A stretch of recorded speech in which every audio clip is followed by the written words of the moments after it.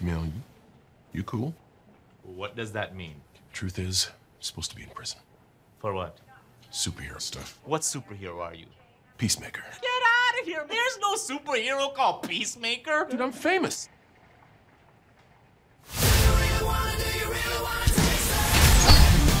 You're a born killer with expertise in every weapon known to humankind.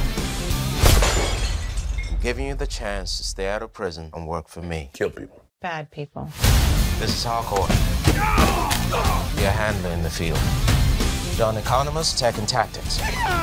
And this is our new recruit, Adebayo. You don't have to shoot people after you already killed them. Right. Who's the guy that's peeking out behind the trash can? Vigilantes, trying to be helpful. Our first target is Senator Royland Goff. Goff may be traveling with his family. Are you sure those two kids came out of those parents? That's an attractive couple, and that one looks like it came out of them, but the other one looks like a butt baby. A butt baby. Yeah, my older brother told me there's two types of babies. One that comes out normal, and then butt babies. Worse in every way, they come out of a woman's butt. No, I believed I was a butt baby until I was like 14. That explains a lot. There's something about him that's sad. Hey, Dad. How did my mind sperm going to a Nancy boy like you. You know, lately I'm just thinking maniac. That's because we're born killers.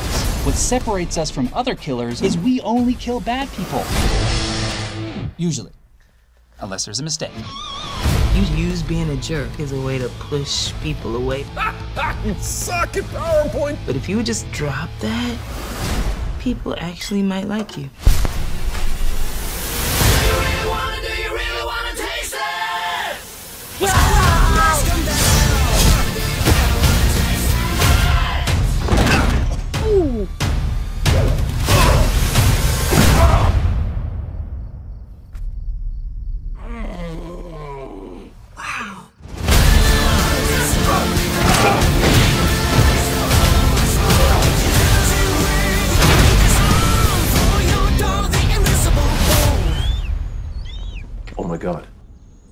He's, hugging me.